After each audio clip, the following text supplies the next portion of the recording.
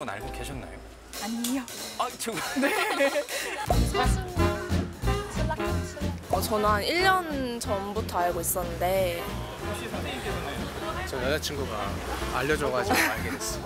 그때는 이렇게 뭐 정돈 내지도 않았었고 네. 이 길이 있는지도 모르시는 분들이 거- 많으셨어요. 서울에 이런 길이 있는 거 처음 봤다고. 이 90년도에 그 수용이 돼서 네. 도로가 난 지역이라 네. 사람들이 몰라요. 2010년도 2월 23일 날 이제 서서갓길이 그 지구 단위가 확정이 되면서 네. 제2의 인사동을 개발한다는 그 서울시의 발표가 있었어요. 그거 도로 개선 한 게 한 2년 됐어요 지금. 아. 예, 그 이후로 여기가 달라지더라고요. 이 돌, 돌 깔면서.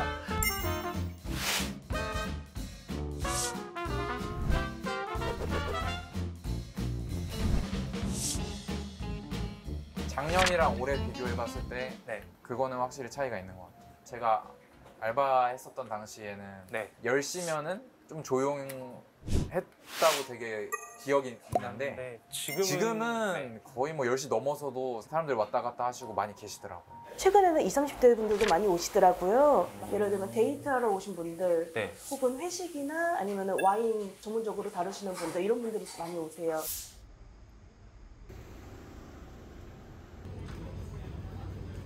아 돌담길이 예뻐서 걷기가 좋다.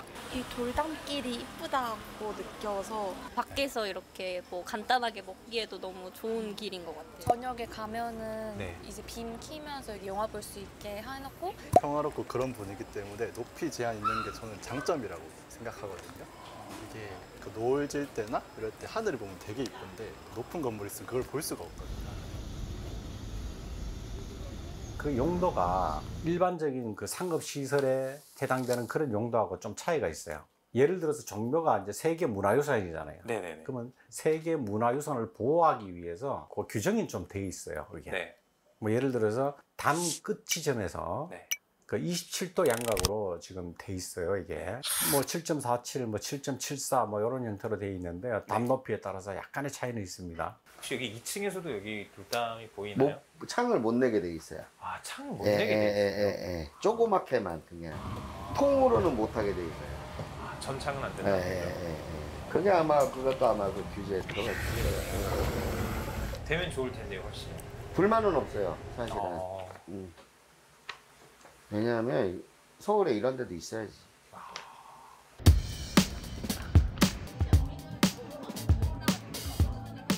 지금은 막 찾아오는 도로가 됐고 네. 주말에는 이제 정말 커플들이 꽉 찬다니까. 주로 주말에? 커플이에요. 20대. 20대 20대 같아요. 내가 보기에. 내 눈엔 20대로 보여. 남자들이 오면 기운을 많이 받습니다. 아, 그래요?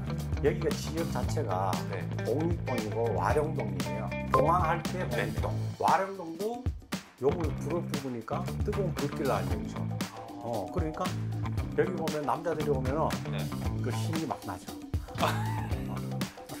돌담을 보면 힘이 난다. 네네. 이거는 뭐 농담인가마는 하여튼 동네 이름 따라가. 아, 그럼 대표님 여기 실제로 돌아다니시면서 커플이나 연인분들을 많이 보시나요? 굉장히 많이 오죠. 많아요. 예. 이런 것도 재밌었다. 여기서 이어졌던 커플들. 어, 또 그건 제가 즐겁더라고요. 이렇게 뭐 100일 됐다, 200일 됐다 뭐 그런 것도 좋지만 1년 후에 그러니까 결혼해서 오시는 분들. 그 전에 이제 청첩장을 가지고 여길 방문을 하시고 네. 이제 또 1년 후에 되면 또 여기를 오셔서 저번에는 제가 청첩장을 드렸잖아요. 이번에는 어, 결혼하고 나서 우리가 이주민에서 왔어요 하고 그 직원들한테 얘기를 하나 봐요. 그러면 저희가 이제 고마워서 손님들한테 너무 감사하잖아요. 또 찾아주셔서.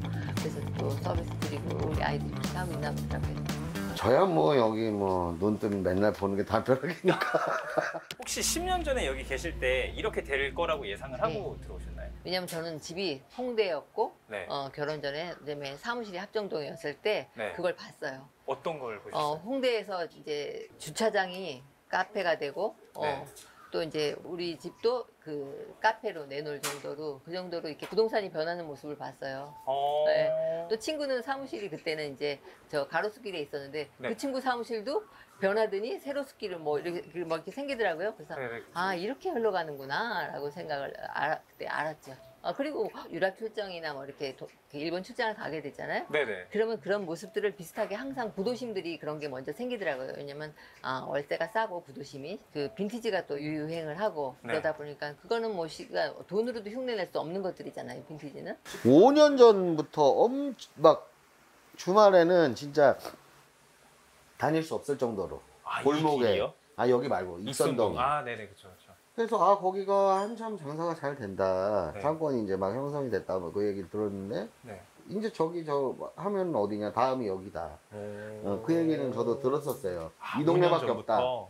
그러면서 한 몇 년 전부터 저희도 한 다섯 번인가 전화가 왔었어요. 매매하실 생각 없냐고. 뭐 계속. 잘 드시네요.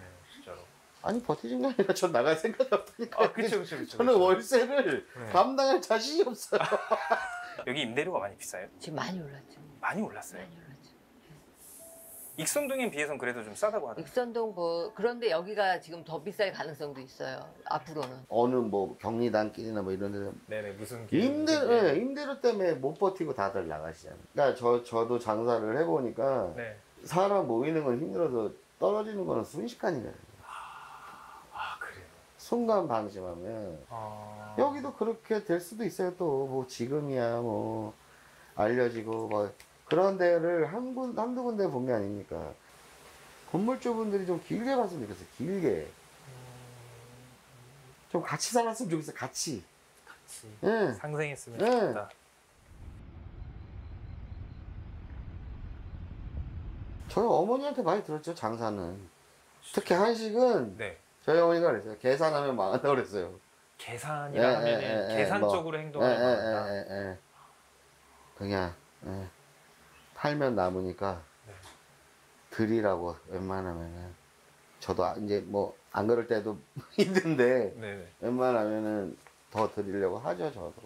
어, 되게 음. 중요한 근데 말씀을. 네. 그것도 이제 저도 좀 아직 짬, 짬이 덜 됐나 봐요.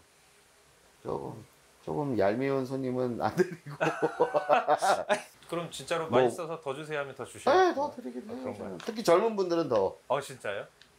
저도 영업해야 될 거 아닙니까?